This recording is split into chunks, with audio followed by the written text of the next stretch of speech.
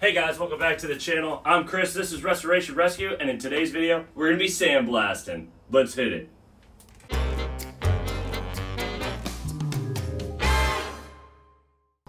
Alright guys, so the sandblaster we bought is the Central Pneumatic from Harbor Freight. It was about $150 in comparison to other um, ones on the line for a little bit bigger. This is the 110 pound one. It was like $400 for the bigger one from Eastwood and whatnot. So we decided with this one, especially we could get it literally like a day ago if we really wanted to. Uh, wasn't that hard to put together. Obviously we just threw on the, uh, the little handles and put the little tires on it.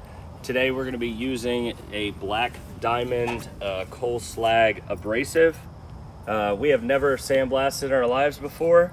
So we're gonna be learning just like you guys are. So let's hopefully we don't fail on this one like we have in the past. So let's do it.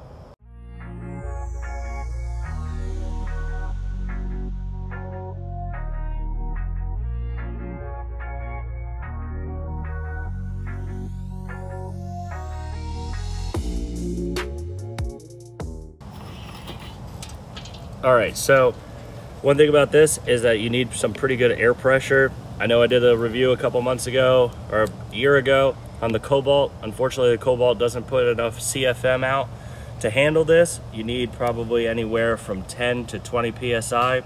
Our brand new air compressor holds up to about 13. So we're gonna give it a shot with this new air compressor. Obviously I'm not made of money, so I couldn't go out and buy one that makes 25, 30 PSI. So what's good about this one is it was cheap, but the one problem we did run into is what we saw online is the hood that it comes with is, is useless. So we went out and bought these at our local Home Depot and a do-rag, which they say is a lot better. So it keeps all the sand out of your eyes and out of your neck and off your hair.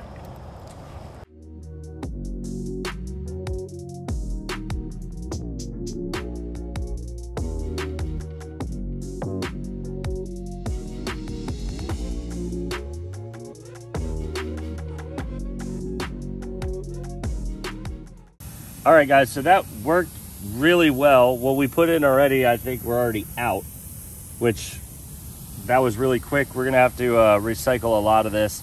Um, from what I hear, you can recycle the uh, media a couple times until it kind of stops working. Uh, a little weird thing is it is a little rainy. It's not supposed to rain today, but um, that could clog it up a little bit. But we're gonna refill this thing. And when we do it, we're gonna come back over here and uh, not step on my mask. But uh, we pull this to release a lot of air. The valve. You gotta make sure your valve, look at that. You gotta make sure your valves are down. Otherwise, if you do this, it's gonna keep putting air back in. So make sure they're down and shut off before you do that. Don't just unscrew this. You unscrew this, it's gonna blow sand right up in your face. You might go blind. So make sure you release the pressure. Thank you, Tim.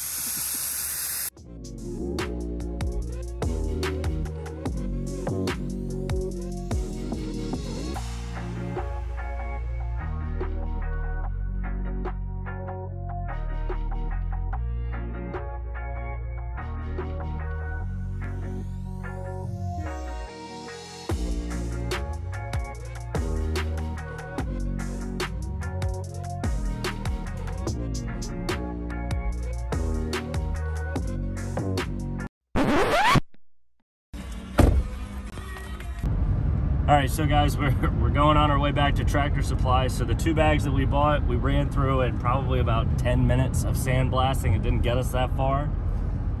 It'd be a whole lot better if we had a confined space to do it in because obviously our sand is going all over the place. It's a little rainy, so we're not really, you know, pumped about putting it right back into the, the machine because uh, it'll clog up and we wouldn't be able to use it anyway. So we got a local tractor supply like 10 minutes up the street, so we're headed there and we're gonna pick up some more bags and we're gonna continue sandblasting. All right, guys. So we just got back from Harbor Freight, sorry, Tractor Supply, where we got 10 bags of Black Diamond. Uh, they didn't have the fine grit, so we're gonna go with the medium this time. Hopefully 10 bags will take us through a lot more of this, so let's load this thing up and let's start shooting.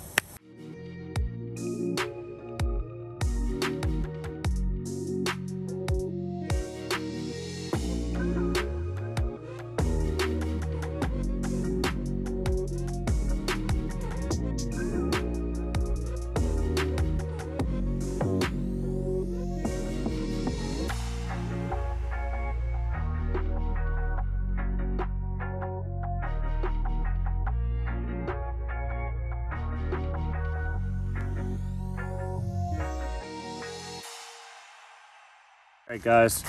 So we ran into a little bit of an issue. We had bought a used um, sandblaster, which ended up having previous sand in it, and you can see it's this this tannish, like this one, the very thick stuff. So I believe it was ca uh, causing it to clog.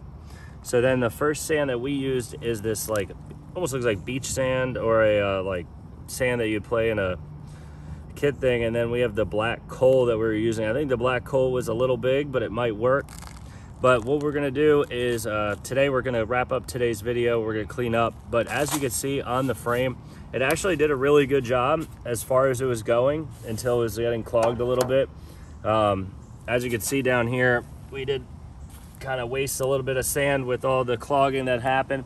But uh, we're gonna regroup we're gonna come back this out another day and we're gonna tear the rest of this thing down, get it sandblasted and get it painted. So make sure you stick around at Restoration Rescue. Thank you.